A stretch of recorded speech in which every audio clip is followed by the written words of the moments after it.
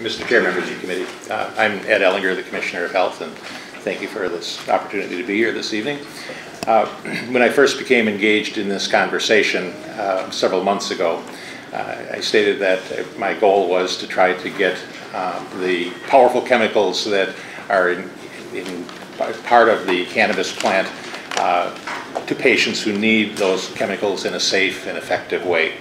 I also identified, as has been part of this conversation just most recently, is that uh, there's inadequate information to really make some uh, decisions about how to use medical cannabis in the most effective way, and that for a whole variety of reasons we've not been able to have that, that research done, uh, but that it's clearly evident that we need some more information. And so with that, that need as my, in my role as commissioner to improve and protect the, the health of the people of Minnesota, I believe that the work that you have done to come to this point with this, with this bill does all of that. It helps get medication to patients who really need it. Uh, and also allows us to gather some information which will help us to determine where to go from this point on.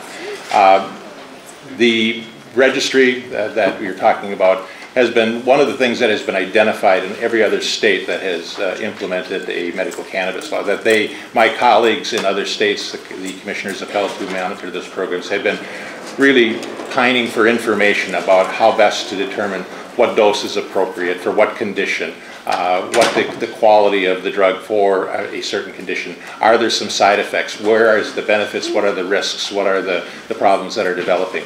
Even though this is not a clinical trial, this has been a, the, this patient registry uh, has been shown to be a way to gather uh, qualitative and subjective data on how these chemicals actually function. Uh, so over the course of the next several years, as we collect more and more of this information, we will have a lot more information to, to use in determining how to proceed with the other clarifying what doses are, are uh, helpful, which ones are not, where problems may uh, come about, and, and where we see some real benefits. Uh, so I'm here to say thank you for the work that you've done on this. I think as I look around the, the country, this is probably the, from a, from a medical and a public health perspective, this is the best bill that I've seen because it does get medications to, to the people who really need it, but it allows us to collect some information so that we can make uh, reasoned decisions as we move forward on how best to approve this. Uh, certainly, we I have staff with me today who have done some of the fiscal notes and have done some of the work on on uh, the implementation because we are committed once this bill is, uh, is signed into law to to begin immediately to start working on all of the things that need to be done to make sure that we have this up and running as rapidly as possible and meet really meeting the needs of uh, the individuals who have been really vocal in trying to move this forward and, and the legislators, the policymakers who have been really been committed to working with us and uh, to, to make this the best bill possible. So with that, I'm open for any questions and, and uh, comments that you have. Thank you, Commissioner. Questions, members? All right, well, uh, let me say um, thank you um, for, your, for your comments and thank you for your advice. And, uh, and, uh, and I know that you spent a lot of time working um, with, you know, providing technical assistance as well as your staff to help out with this, um, as well as working with um, uh, the governor and his staff. So I appreciate all the time and effort. Uh, Senator Petersen. Thank you, Mr. Chair. I was trying to give other members the opportunity to ask questions if they if they wanted to. Thanks for joining us, Commissioner. Um, you had mentioned something that I, I wholeheartedly agree with, which is that this bill gets cannabis to people who really need it. And I, I think I think it does. I think it does get it to the people, the 5,000 uh, people that that we estimate in the bill. Um, the Senate bill had uh, would benefit approximately 38,000, 39,000 by estimates. I guess what I'm curious about is why don't um, why don't the other people really need it, or or should I say why do these people really need it and the other ones don't? What's what's the difference in your in your opinion, Commissioner? Mr. Chair, uh, Senator Petersen, I mean, those, those are, are decisions that the policymakers will make. You know, I, we, I provide testimony and information about what we know medically, what we know public health, what we know in terms of implementing a program. Uh, Lots of discussion has been occurred on, uh, you know, the, the the conditions that should be in place, the, the forms that should be used. Uh, Those are policy decisions that, that, that you're making. I'm uh, here to, you know, give the technical advice, the scientific advice, or information, uh, and, uh, and the implementation uh, issues that we would have as the department administering this. Thank you, Mr. Chair. Um, I appreciate that response. Um, You said that we're the policymakers, so that, so we're the ones that decide. But isn't it true, Commissioner Ehlinger, that were it not for your administration uh, and the governor, we would have a much more expansive bill? Uh, And that it is only because of your position, your public statements, the governor's public statements, and veto threats that we're stuck with this limited bill. Um, and, and when you say things like get cannabis to people who really need it, to me that seems like a subjective statement that you're making.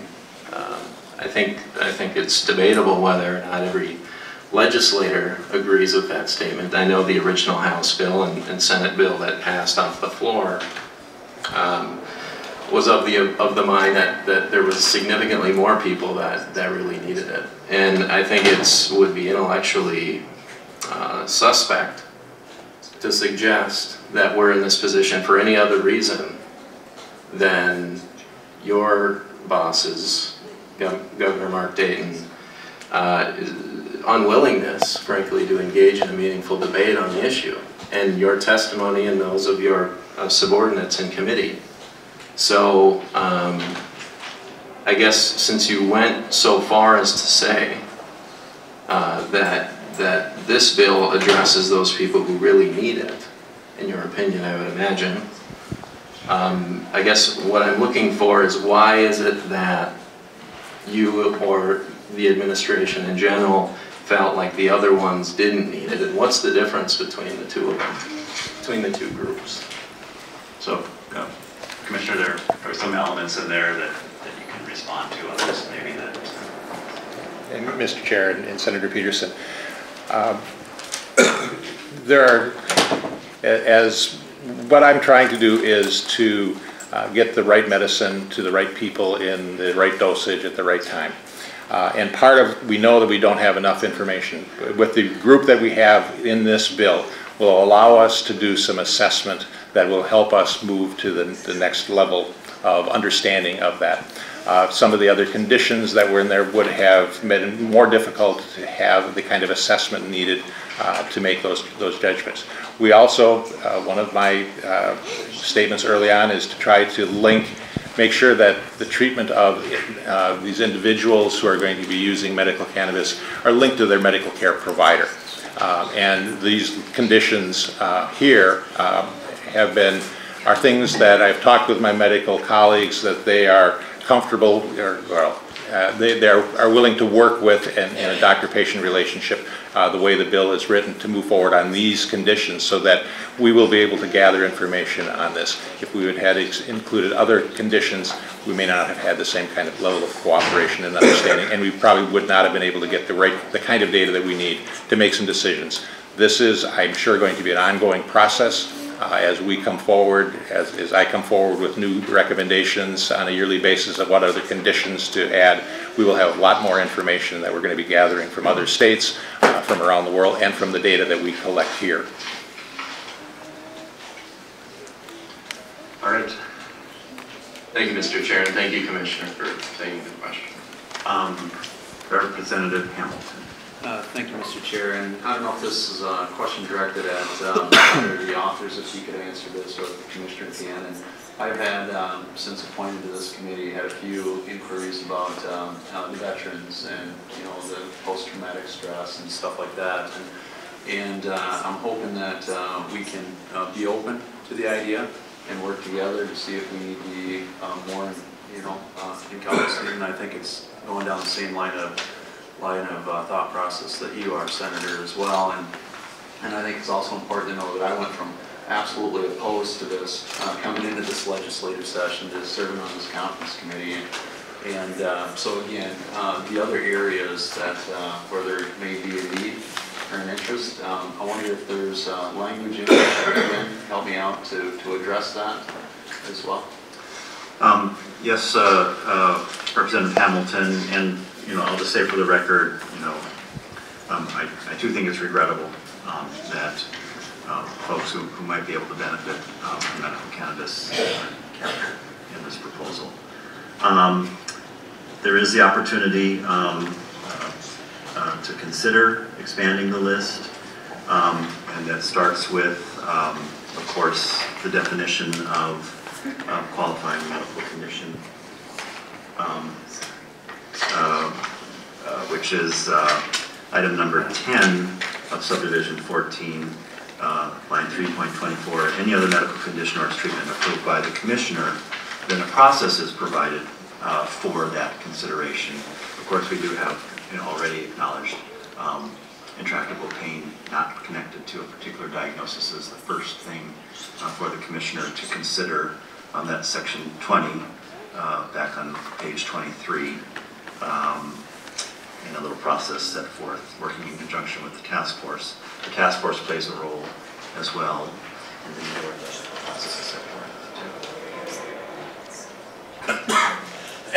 As well, uh, Representative Hamilton, methods or of, of consuming medical cannabis or the forms of medical cannabis also could be added to the list.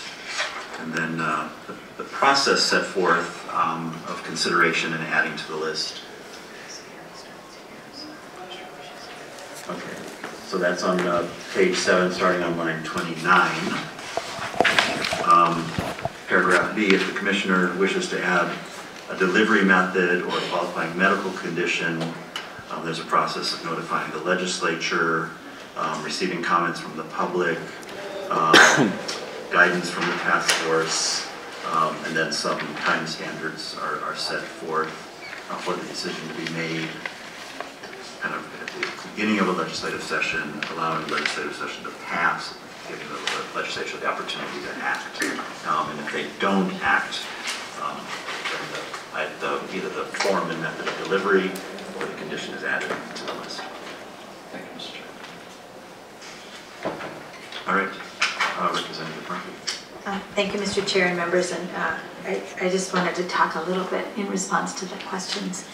Um, And, you know, this is, for me, like so many people, a a question, an an evolving question, although I have, you know, supported um, and voted for medical marijuana at least twice since I've been elected in, in a broader bill.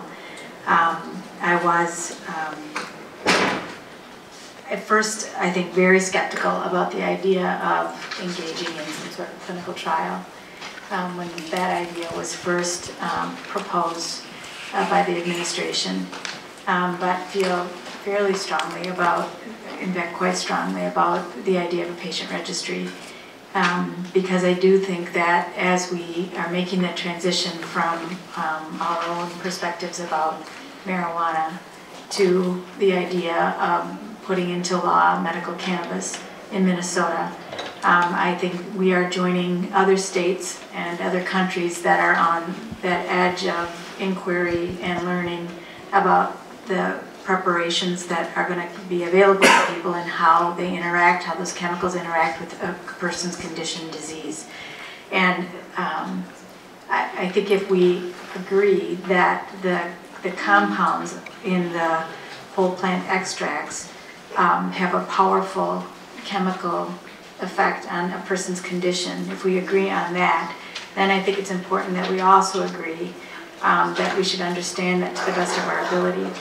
And while it would have been, I think, awesome for us in Minnesota to proceed with a full clinical trial, the, the, the thought of conducting that from a state legislature, putting that into policy, passing a bill, affording that, um, while we're not the experts, allowing, you know, places like the University of Minnesota and the Mayo Clinic lead that charge for us.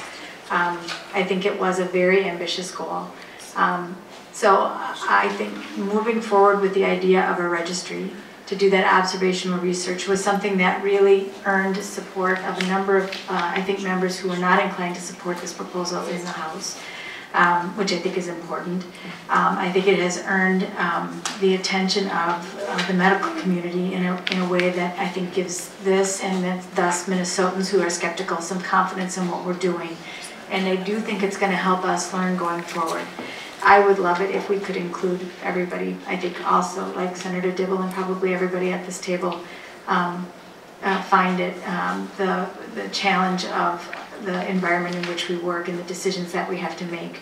But going forward, I think we're going to be in stronger position if we take this step first. If we build upon a solid foundation of not only um, taking what we've learned from other states, from what other countries are already doing, and, you know, there certainly is clinical trial going on in other parts of the world that we can learn from, but also then to build upon what we're able to learn by taking a first solid foundational step, um, and then building on that.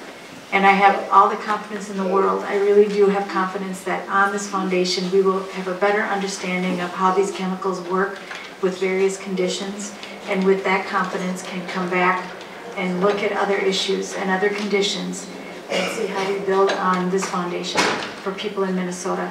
And not only um, serve the Minnesotans that are interested in this well, but also contribute to um, both the science and the knowledge and the treatment of people in other parts of the country. So while I agree with your concern about the number of people, I also think that we are taking an important step in terms of understanding the science underneath this.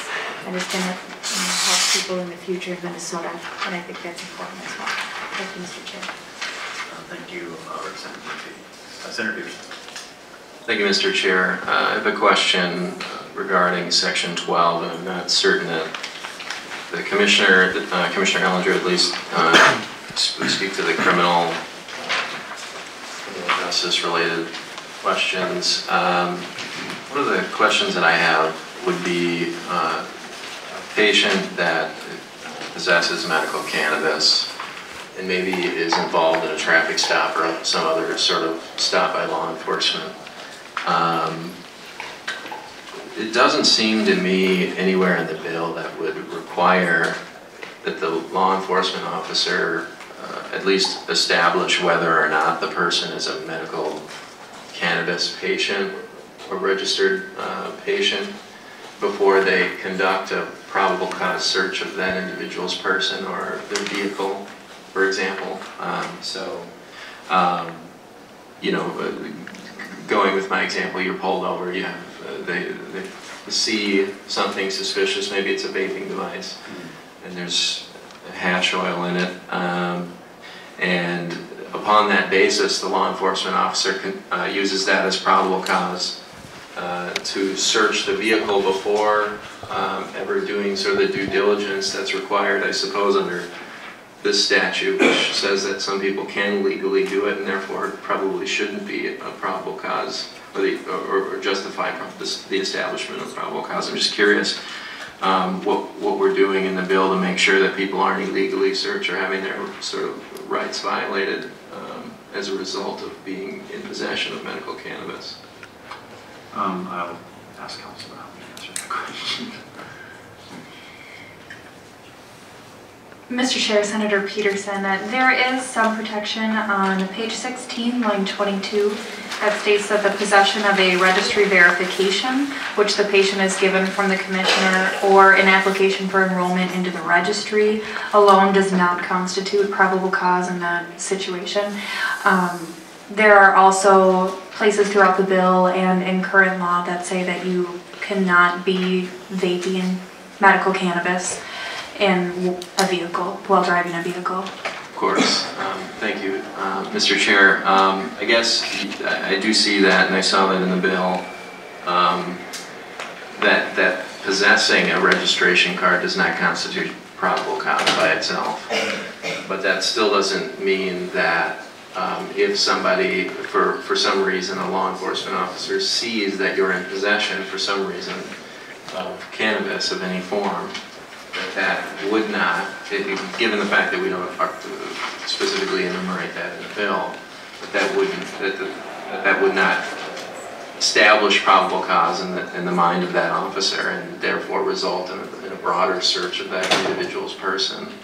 or vehicle, um, for example, or home, for that matter. So, um, Senator Petersen, I'll, I'll, uh, there's a couple of things I think that, that might, um, I mean, we, we don't, we don't have the, the card, the registry card, um, as, as we did in the Senate proposal. Um, so someone wouldn't have a- like a card you could just show, um, the, the commissioner, or the, excuse me, the police officer. But, uh, you know, we do have folks who are, you know, on the, on the registry list and, and, um, you know, that list would be, I think, probably fairly easy, um, to, to verify. Um, also, you know, when folks have, um, medical cannabis in their possession and be in a container, um, that's, that's labeled with the number of identifiers, including their name and, you know, and the fact that this is medical cannabis for, for medical purposes and the like. Uh, so that, you know, is something that is a way to communicate um, to the officer.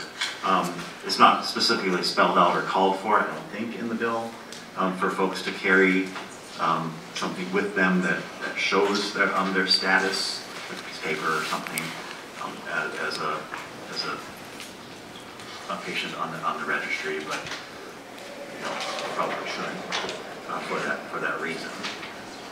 You know, the, the, the same challenge, of course, is true no matter what, um, in, in every state and other ways. So, so it's, it's hard to stop an officer, um, from conducting the- at least the initial inquiry.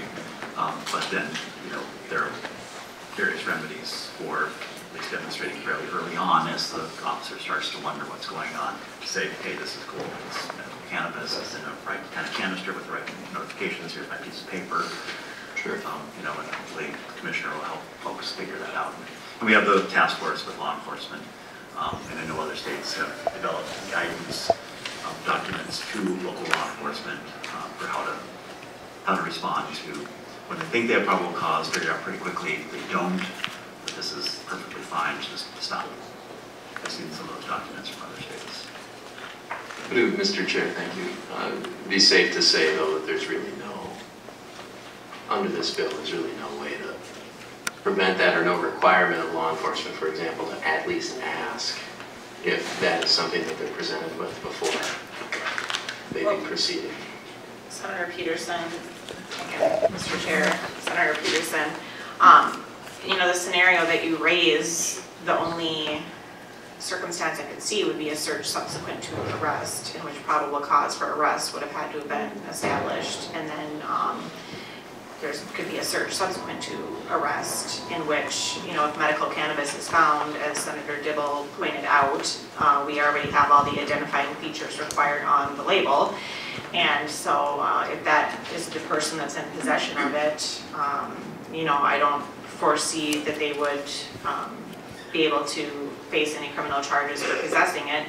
Um, Just as right now, if you were arrested and uh, there was a search subsequent to arrest and an officer found a uh, prescription bottle on you, if you are that person who's on the prescription bottle, then you certainly aren't in any unlawful possession of any sort of controlled substance, which I think would be the same um, circumstance here. So um, there are a number of protections in the bill, I think, that would address that issue um, exactly that you raised. So, you know, I don't see any concerns myself in that regard.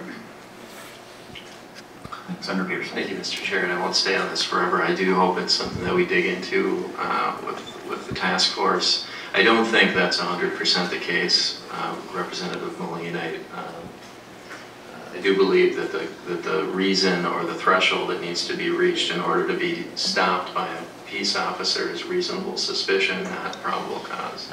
And so uh, I do think there are scenarios that, um, that in fact you could be subject to a search um, if, if it becomes known that you're possessing cannabis and the individual hasn't established that you are lawfully um, carrying it. But I, I, just for the record, I think that there is some gray area, obviously, um, in this area of the bill. Uh, That's all I have on this, though, Mr. Chair. Mr. Chair, Senator Petersen, I mean, just for clarity purposes, so the standard for a traffic stop would be reasonable articulable suspicion, which doesn't quite rise to the level of probable cause, but in order to search a suspect, it has to rise to the level of probable cause. in possession of a controlled substance would be, Mr. Chair, uh, would establish probable cause uh, if you weren't aware that that individual was uh, a medical, illegal medical medical cannabis. But, Mr. Chair, Senator Petersen, you wouldn't know that they were in possession of a controlled substance or medical cannabis without the search, which had to first be established by probable cause through an arrest. But we can let that I I think we. I think there's a scenario Going where back to could, the but, fisheries, but uh, I'll leave it alone. Very good. Um, Anything further, Commissioner? No. All right, anything further, members for the Commissioner? All right, thank you. Thank you very much.